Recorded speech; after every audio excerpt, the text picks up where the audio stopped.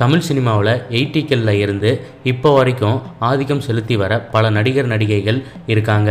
டைரக்ஷனும் பண்ணிக்கிட்டு கூடவே நடிப்பிலையும் கவனம் செலுத்திட்டு வர ஒரு சில நடிகர்களில் ஒருத்தர் தாங்க ஆர். சுந்தர்ராஜன். பட அதிபர் கோவை தம்பி தயாரித்த முதல் படமான பயணங்கள் முடிவதில்லை அப்படிங்கிற படம் மூலமாக இவர் இயக்குனராக அறிமுகமானாருங்க. இந்த படமே இவருக்கு பிரம்மாண்ட வெற்றியை கொடுத்தது. இந்த படம் நானூற்றி இருபத்தஞ்சி நாட்கள் ஓடி சாதனை படைச்சது மட்டும் இல்லாமல் இவர் ஒரு டைரக்டர்னு ஒரு அங்கீகாரமும் இந்த படத்து மூலமாக கிடைச்சதுன்னே சொல்லலாங்க. இவர் மேலும் தொடர்ந்து பல படங்களை டைரக்ஷன் பண்ணியிருந்தாருங்க. குறிப்பிட்ட படமாக சொல்லணுன்னா வைதேகி காத்திருந்தால் குங்குமச்சிமில் மெல்ல திறந்தது கதவு விஜயை வச்சு காலமெல்லாம் காத்திருப்பேன். ரஜினியை வச்சு ராதாஜி ராஜாதி ராஜா போன்ற படங்களை டைரக்ஷன் பண்ணியிருக்கிறது குறிப்பிடத்தக்கதுங்க. மேலும் இவர் குணச்சித்திர நடிகராகவும் நடிச்சிருந்தாரு காமெடி நடிகராகவும் நடிச்சிருந்தாரு. மேலும் இப்போ இவர் கல்யாண வீடு அப்படிங்கிற சீரியலில் சன் டிவியில் கோபிக்கு மாமனாரா நடிச்சிட்டு வராருங்க. மேலும் இவர் ஃபஸ்ட்டு ஃபஸ்ட்டு நடிக்கிற இந்த சீரியல் இதுதாங்க. இது வரைக்கும் இவர் நிறைய படங்கள்லேயும் நிறைய படங்களையும் டைரக்ஷன் பண்ணியிருக்கிறது. குறிப்பிடத்தக்கதுங்க.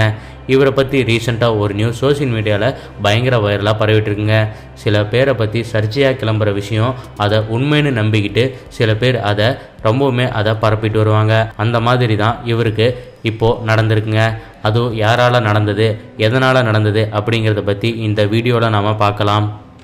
சின்ன திரையில் புகழ்பெற்ற இயக்குனர்களில் ஒருத்தர் தாங்க திருமுருகன் என்கிற கோபி. இவர் சீரியலில் கோபிங்கிற கேரக்டரில் நிறைய நடிக்கிறதுனால இவரை கோபின்னு எல்லாரும் சொல்லிட்டு வராங்க. இவரோட இயக்கத்தில் இப்போது சன் டிவியில் நல்ல ஒரு டிஆர்பியை கொடுத்துட்டு வர சீரியல் தாங்க கல்யாண வீடு. இதில் இவர் கதிரேசன் அப்படிங்கிற ரோலில் கோபிக்கு மாமனாராக நடிச்சிட்டு இருக்காருங்க மேலும் கல்யாணமும் கல்யாணமும் அப்படிங்கிற சீரியலில் விஜய் டிவியில் நடிச்சிருந்தது குறிப்பிடத்தக்கதுங்க.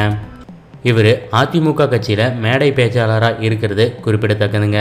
மேலும் இவர் ரீசண்டாக சூப்பர் ஸ்டார் ரஜினியை பற்றி ஒரு கருத்துக்களை வெளியிட்டிருந்தாருங்க.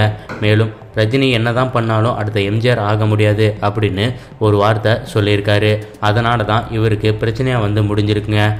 இவர் இறந்துட்டு தான் சொல்லி நிறைய நியூஸ்கள் பரப்பப்பட்டுட்டு வருது சோஷியல் மீடியாவில் அது ரொம்பவுமே வைரலானதுனால அவருக்கு எல்லாருமே பிரபலங்கள் ஃபோன் பண்ணி கேட்டிருக்காங்க.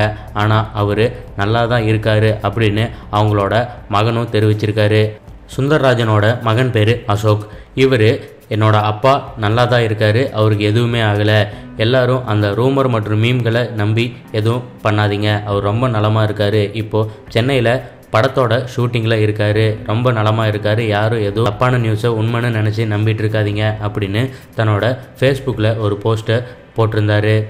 சுந்தர்ராஜன் ரஜினியை வச்சு ராஜாதிராஜா அப்படிங்கிற ஒரு ஹிட்டான படத்தை கொடுத்துருந்தாரு. ஆனால் இப்போது இவர் ரஜினியை பற்றியே இப்படி பேசியிருக்கிறதுனால ரஜினியோட ரசிகர்கள் தான் இந்த வேலையை பண்ணியிருப்பாங்கன்னு சோஷியல் மீடியாவில் சில தகவல்கள் பரவிட்டுருக்குங்க.